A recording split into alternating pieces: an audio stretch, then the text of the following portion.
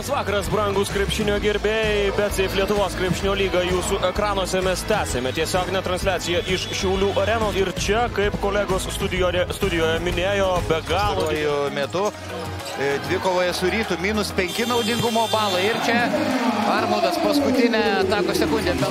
Teniškai būtų patenkti, jeigu Sabetskis e, toliau mestų iš toli. Vėleris čia demonstruoja individualų. Labai aštrus, e, veržlus krepšininkas. Staniulis čia veikia po krepšių Roką Gusti. Marmudas visiškai laisvas iš trijų taškų zonos. Šulskis pametė kamuolį. Aikštelėje kurį laiką. Matulis iki galo, du taškai. Sabetskis ilgai ten laukia kamulio Paulius Danusevičius, grūda iš viršaus, buvo lygęs. Stankevičius išvest metimų nepavyko, bet šis puikiai įmeta kamulį Giedriui Staniuliui. Lyga. Gelininkaitis nieko nelaukęs iš toli, trys su pražanga. Štai toks komandas ir Nedo Pacevičiaus aukliniai turi kamulį. Štai, štai toks metimas neblogam lygyje. O, Gecevičius persverė rezultatą. Jį dažnai į pagalbą į vados aikštelę, nu, kad apsigintų prieš pikenrolą varžovų, žinai, ir Atgal Šulskiui.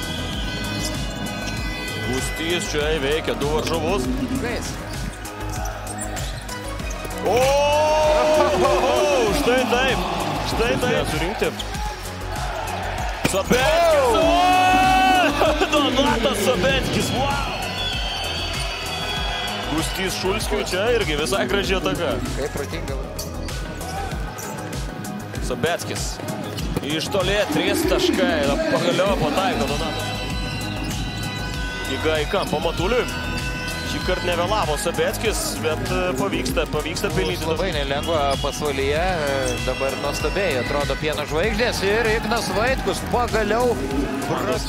Va yra iš Žydrūno Urbano, čia pakabintas kamuolys ir Doimantos Stankevičiaus taškai. Greit pasileidžia kitą aikštelės pusę Armudas, Sanonas ir vėl rizikingai e, sudega ten ir čia Rokas Gustys iš viršaus. Sabeckis.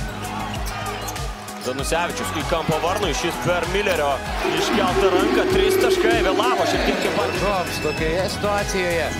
Oi, Patrikas Milleris iš viršaus. Tas irgi sunkiai suvokiamas dalykas. Keistos paradoksų kupinos rungtynės baigėsi dramatiška Juves pergalė. Fantastiškas vakaras čia.